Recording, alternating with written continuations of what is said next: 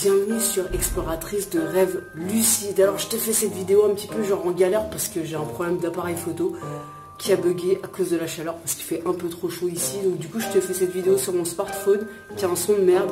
Donc je suis désolée pour ça. Je suis en galère de lumière aussi, enfin je suis en galère de tout aujourd'hui. Bref, quoi qu'il reçoit, je vais te faire une vidéo très très courte. Je vais essayer d'arranger ça pour demain. Je te fais une vidéo sur une question qu'on me pose hyper souvent en commentaire. C'est genre, enfin on me dit, euh, le journal de rêve, je comprends bien que c'est super important euh, pour la remémoration onirique et que ça a un, vrai impact sur la lucidité. Mais par contre, j'en ai marre d'écrire mes rêves. Je fais 5 rêves par nuit, c'est super chiant euh, pendant la journée ou le matin de réécrire tous mes rêves. Donc comment je fais? Est-ce que tu n'as pas une solution?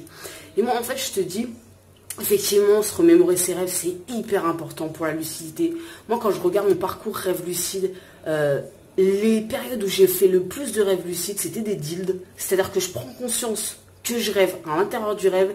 Et c'était des périodes où j'étais à fond dans l'écriture de mes rêves, où je faisais des rêves, euh, beaucoup de rêves par nuit. Alors, j'en fais toujours beaucoup, on en fait tous beaucoup, mais on s'en souvient pas forcément. Mais là, en fait, je m'en souvenais bien et je les écrivais, j'étais à fond dans. Bah, ces périodes-là, je faisais beaucoup de rêves lucides. Pour moi, il y a vraiment une corrélation directe entre la lucidité et la remémoration onirique. Donc c'est important chaque jour de, euh, de faire passer le message à ton inconscient que pour toi, c'est important de te rappeler tes rêves. C'est important de devenir lucide en rêve.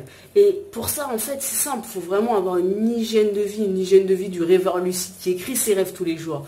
Maintenant, si en as marre, je comprends je te propose deux trucs. Le premier, c'est si tu fais plusieurs rêves par nuit, tout simplement, t'en prends un. T'en prends un et t'écris juste les bases. T'écris les grandes lignes. T'écris pas les détails, en fait. C'est pas si important que ça d'écrire dans les détails son rêve. Ce qui est important, c'est de garder le cap, en fait, de chaque jour se remémorer ce rêve, de rester vraiment dans cette espèce d'hygiène de vie euh, intérieure. C'est ça qui est important. Et l'autre solution que je te propose, et en fait ça convient à pas mal de monde finalement, c'est euh, le microphone. C'est tout simplement le matin, on a tout ça sur notre portable, microphone, clic et tu racontes tes rêves, tes 3, tes 4, tes 5 rêves. Tu les racontes dans le désordre, en mode fouillis, on s'en fout. Ce qui compte en fait, c'est de les extérioriser. Ce qui compte, c'est de te souvenir euh, de tes rêves. C'est ça qui est important, c'est vraiment la remémoration. Parce que potentiellement, dans ta vie, tu as fait des rêves lucides, ou des rêves où tu étais prélucide et tu t'en souviens pas. Parce que, à moins dans un rêve de devenir lucide en mode genre grosse lucidité d'un coup, où là tu peux genre changer le décor à ta guise et faire tout ce que tu veux, euh, ces rêves-là, je pense qu'ils sont plus marquants. Et donc du coup, quoi qu'il arrive, on va s'en souvenir. Mais les rêves prélucides, les rêves où tu es un peu lucide, cela c'est pas sûr que tu t'en souviennes. Et ils sont importants, ils sont super importants dans, dans, le processus vers le rêve lucide. Donc faut vraiment se rappeler ces rêves. Pour moi en tout cas, c'est un indispensable, vraiment.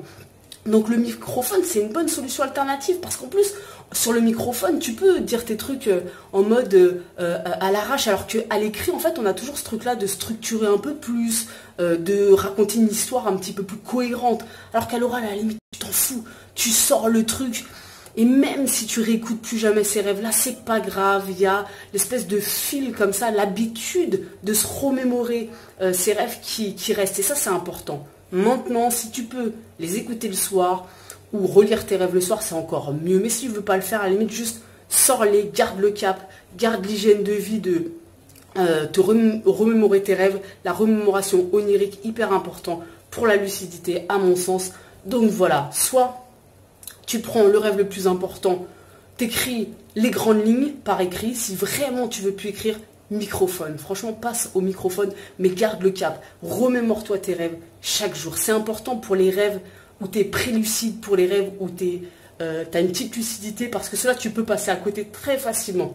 Donc voilà, on se retrouve demain pour une nouvelle vidéo. Euh, je vous fais des bisous les amis. Ciao